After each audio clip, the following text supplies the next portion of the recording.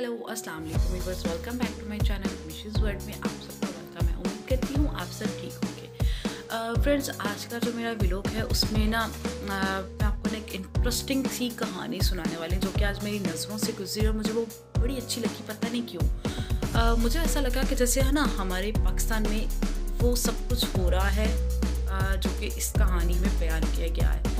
जो इस कहानी में बताया गया है थोड़ी सी फ़नी भी है थोड़ी सी आ, हमारे लिए सबक अमूज भी है और उसमें से वो सब कुछ है कि जिसका मुझे लगता है कि अगर वो मेरी नज़र से बुरे मुझे इतना टच किया तो आप लोगों को भी शायद मुझे वो आपके साथ शेयर करना चाहिए। तो चलिए चलते हैं। मैं आपको वो कहानी सुनाती हूँ कि वो कहानी है क्या। असल में आ, उस कहानी का जो नाम है ना मैं तो उसको शायद यही नाम दूँगी अपने मुल्क की सिचुएशन को देख के। कि जो हमारे सबक प्राइम मिनिस्टर थे, इमरान खान साहब, जो कि मुझे बहुत पसंद है, और मुझे नहीं पता कि आप लोगों को कैसे लगता है लेकिन मैं उनकी बहुत बड़ी फ़ैन हूँ कभी मुझे ज़िंदगी में मौका मिला तो मैं उनसे ज़रूर मिलूँगी, लेकिन कहाँ मिला जाएगा, लगता कोई मिलने ही नहीं देता।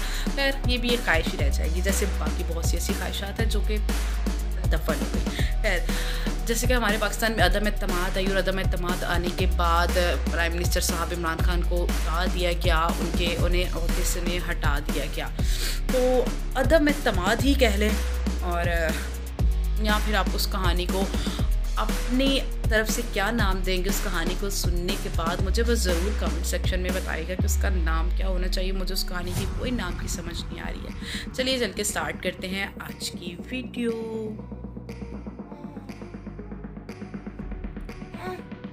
चलें जी, हम अपनी स्टोरी को स्टार्ट करते हैं। ये स्टोरी है जी, सलार बिन नसर साहब ने लिखी है।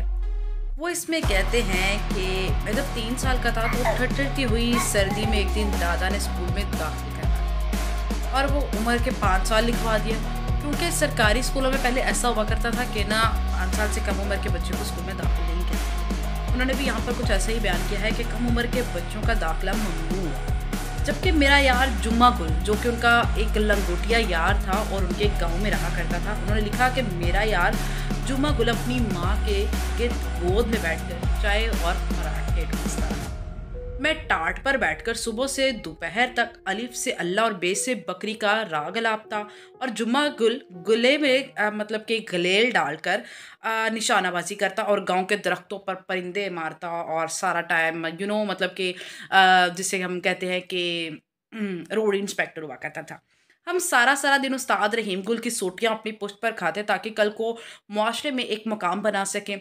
और जो जुम्मा गुल साहब थे, वो अपने बाप के कंधे पर बैठकर गाँव के मेले लूटता रहा।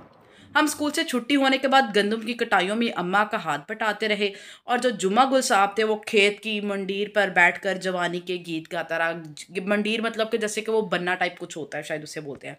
हम जब आंसुओं भरी आँखों से जुम्मा गुल की तरफ़ देखते तो दिल का हाल जैसे जानकर अम्मा बोलती, बेटा, तुम एक दिन बड़े अफसर बनोगे और जुम्मा गुल जैसे लोग तुम्हारे गुलाम होंगे, नौकर बनेंगे।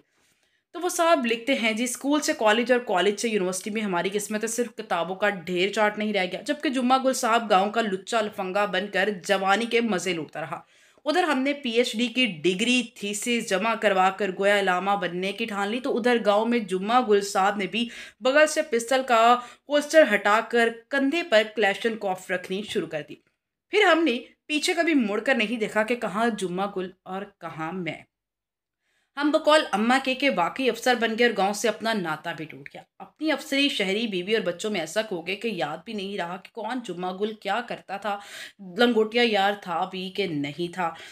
अम्मा की बाकी सारी बातें आज बिल्कुल सच साबित हुई। लेकिन एक बात जो थी आज भी कभी कभार वो याद आती है कि उन्होंने कहा था कि ये बात उनकी जो कहते हैं कि दिल के दरवाजे पर दस्तक देकर बेचैन कर देती है कि जुम्मा गुल तुम्हारा नौकर बनेगा। शायद अम्मा जो थी आ, उनकी ये बात से ज़्यादा ये खुद ही एक ख्वाहिश थी। मेरी ये ख्वाहिश थी सलार बिन साहब कहते हैं कि जुम्मा गुल मेरा नौकर बने क्योंकि मैंने ज़िंदगी का आधा अरसा मतलब कि पढ़ाइयों में ये सब कुछ करके गुजार दिया जो कि जुम्मा खान ने तो बस गाँव में लोफरपन करके गुजारा है। और फिर मैं कैम्ब्रिज में पढ़ने और अपने बच्चों को हर वक्त यानी राग अलापते ही सलार बिन साहब यहाँ पर मजीद कहते हैं कि और फिर मैं कैम्ब्रिज में पढ़ने अपने बच्चों को हर वक्त यही राग सुनाने लगा कि बेटा मेरी तरह बनो, जुम्मा गुल मत बनो, मेरे बच्चे अब मुझसे ही पूछते हैं कि पापा हु इज़ जुम्मा गुल? और फिर जब मेरा हमेशा से जवाब यही होता कि मेरा नौकर, क्योंकि सलार बिन साहब के अम्मा ने उन्हें कहा था कि जुम्मा गुल तुम्हारा नौकर बनेगा। इस तरह से लोग तुम्हारे नौकर होते हैं। सालों बाद गाँव जाना हुआ, बीवी बच्चे साथ थे। गाँव भी फैलकर जैसे छोटा सा शहर बन चुका था। काफ़ी लोग अब मेरे लिए अजनबी थे। एक दिन पैगाम आया कि जुम्मा गुल नामी बंदे ने अहल खाना समेत दावत पर बुलाया है, जो कि सलार बिन साहब के लिए बहुत हैरान बात थी। उन्होंने लिखा कि मेरे अंदर एक कमीनगी सी आ गई, एक कमीनी सी खुशी अंदर मेरे उभरी के जुम्मा गुल को दिखाऊँगा कि पढ़ाई लिखाई और उस्ताद रहीम दादा की सोटियों ने मुझे कहाँ से कहाँ तक पहुँचा दिया है। और वो सदा का लुच्चा लफंगा आज भी दो वक्त की रोटी के लिए मर रहा है। बेगम को ताकीद की कि पाँच हज़ार उसकी बीवी को थमा देना। रात को अपनी चार सौ हज़ार सीसी गाड़ी में बैठकर जुम्मा गल के पहुँचे। वहाँ तो उन्होंने देखा कि जैसे वो सनाटे में आके, सख्ते में आके कि शहर में तीन सौ गज बंगले वाला अफसर चार हज़ार गज वसी बंगले को देखकर हैरत से दांतों में उंगली ही डाल के बैठ गए, जिस पर जुम्मा गुल पैलेस का नियम प्लेट भी उसका मुँह चढ़ा रहा था। बंगले के अंदर चार V eight and Land Cruiser एक शांत से खड़ी थी। वेस्कट पहने जुम्मा गुल गर्म जोशी से आगे बढ़कर मेरे गले लग गया कि डॉक्टर साहब बड़े आदमी बन गए, भूल गए हम जैसे गरीब और अनपढ़ लोगों को। सलाल बिन साहब यहाँ पर कहते हैं कि मेरी बीवी और बच्चे मुँह खोले, हैरानगी से बंगले को देख रहे थे और वो जुम्मा गुल बता रहा था कि अम्मा की दुआओं से वो आज सियासतदान बन गया है। दसिन ऐसा ही कुछ हमारा मुल्क का भी हाल है। जैसा कि मैंने आपको शुरू में बताया था कि अदम तमाद आप इसको कह लें जुम्मा गुल की तरक्कियाँ कह लें, या फिर आप आजकल देख लें कि अनपढ़ लोग कहाँ से कहाँ पहुँच गए। कि जब भी अदम इतमाद की हवा चलती है, वो चालीस पचास करोड़ लोग बना ही लेते हैं। अचानक मेरे बेटे ने भी अंग्रेज़ी में मुझसे पूछा कि मेरे बाबा, ये वही जुम्मा गुल हैं जो आपका नौकर बन रहा था। मेरी खामोशी पर छोटे वाले बेटे ने अंग्रेज़ी में कहा, बाबा, मैं भी जुम्मा गुल बनूँगा, जो कि आज हमारे सियासतदान बन चुके हैं। और इन जैसे जुम्मा गुल जो कि हमारे सियासतदान इम्पोर्टेड टोला, ये सब, ये जुम्मा गुल ही हैं, जो कि एक पढ़े लिखे लीडर को आने नहीं दे रहे, क्योंकि उन्हें डर लग गया है कि शायद उनकी जायदादें वगैरह अब आइंदा उनकी नस्लों के लिए नहीं बन पाएँगी। हती कि वैसे तो सोचा जाए कि ये लोग इतना कुछ कमा चुके हैं कि इनकी आने वाली दस नस्लें भी बैठ कर खाएँगी जो कि हमारे पाकिस्तान को ये लूट लूट कर खा चुके हैं।